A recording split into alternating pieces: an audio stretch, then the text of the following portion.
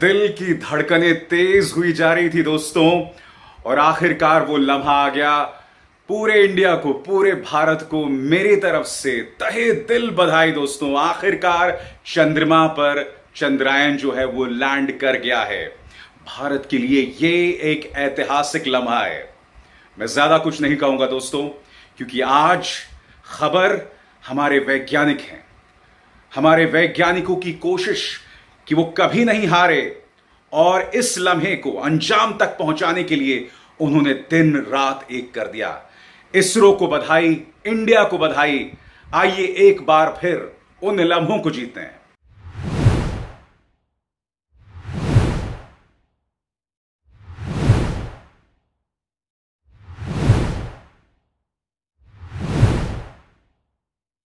Module hovering at nearly 150 meters above the जी हाँ। lunar surface. जी हाँ आप इस तालियों के गड़गड़ाहट को सुन सकते हैं जो कि सेकेंड हायोरिक फ़ेज़ के कंप्लीट होने के बाद इन सारे वैज्ञानिकों के द्वारा की जा रही है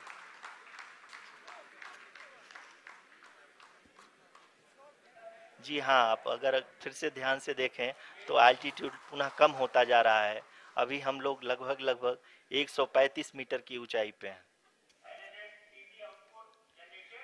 The sensors that are updating at this point are providing confirmation of the safety of the landing site. As expected, the retargeting is going on and this is a very good signature for the lander. अभी आप ये देख सकते हैं कि lander की ऊंचाई लगभग पैंसठ मीटर के आसपास बची हुई है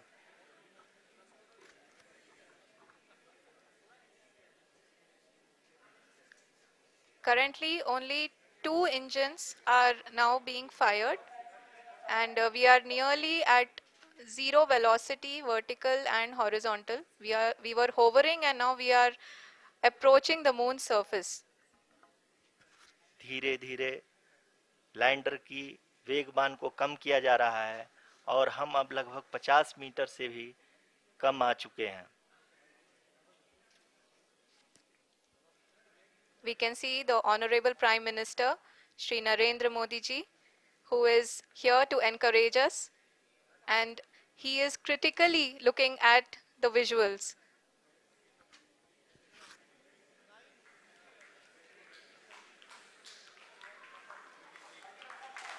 जी हाँ आप अपने स्क्रीन पे देख सकते हैं कि हम lander module People are applauding.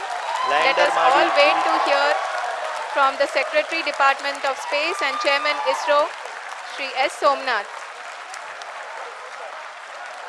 Lander module पूरी तरह से सेफली और सॉफ्टली चंद्रमा के सतह पे लैंड हो चुका है ये हम लोगों के लिए बहुत ही गर्व की बात है हिंदी में एक कहावत है कि चंदा मामा दूर के लेकिन अब हम ये कह सकते हैं कि चंदा मामा अपने घर के बहुत ही उमदा. The hard work of the entire ISRO community has come to fruition. Honorable Prime Minister called me and conveyed his greetings to each one of you, you and your family for the wonderful work you did in ISRO. Uh, so thank, uh, thanks are to him for the support that he is giving to us for missions like Chandrayaan 3 and the missions that are in the offing. I think that's a great word of you know, comfort that we are receiving for pursuing the inspirational work that we are doing for the nation. I want to tell you, and I want to thank you also for each and everyone who prayed with us in the last many days, uh, who wanted this uh, success to happen in ISRO. I thank all those people in all around the country and maybe be beyond the country for their blessings and wishes and, and affection that he has given to each one of us for doing this work for the last so many years. I want to specifically thank uh, some senior people who have been standing with us, especially the name of Kiran Kumar sir. and Mr. Kamalakar, Sri Koteshwar Rao. They have been helping so much. They were part of the team to help them to get the confidence and get the reviews done to ensure that nothing goes uh, with any mistakes.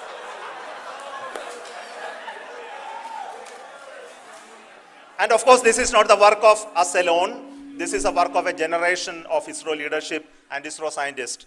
And this is a journey we started in Chandrayaan 1, continued in Chandrayaan 2, and Chandrayaan 2 craft is still working and doing a lot of communication work with us. And all the team that contributed to building Chandrayaan 1 and Chandrayaan 2 should be remembered and thanked while we celebrate Chandrayaan 3. And this is an incremental progress and definitely a great, huge one it is. And thank you so much for all the support and work that you have done. Thank you. मेरे प्यारे परिवारजनों जब हम अपनी आँखों के सामने ऐसा इतिहास बनते हुए देखते हैं तो जीवन धन्य हो जाता है ऐसी ऐतिहासिक घटनाएँ राष्ट्र जीवन की चिरंजीव चेतना बन जाती है। ये पल अविस्मरणीय है। ये क्षण अभूतपूर्व है। ये क्षण विकसित भारत के शंखनाद का है। ये क्षण नए भारत के जयघोष का है। ये क्षण मुश्किलों के महासागर को पार करने का है। ये क्षण जीत के चंद्र पथ पर चलने का है। ये क्षण 140 करोड़ धड़कनों के सामर्थ्य का है। ये क्षण भारत में नई ऊर्जा, नया विश्वास, नई चेतना का है। ये क्षण भारत के उदयमान, भाग्य के आह्वान का है। अमृत काल की प्रथम प्रभा में सफलता की ये अमृत वर्षा हुई है। हमने धरती पर संकल्प लिया और चाँद पर उसे साकार किया। और हमारे वैज्ञानिक साथियों ने भी कहा, India is now on the moon. आज हम अंतरिक्ष में नए भारत की नई उड़ान के साक्षी बने हैं। साथियों, मैं इस समय ब्रिक्स समिट में हिस्सा लेने के लिए दक्षिण अफ्रीका में हूँ।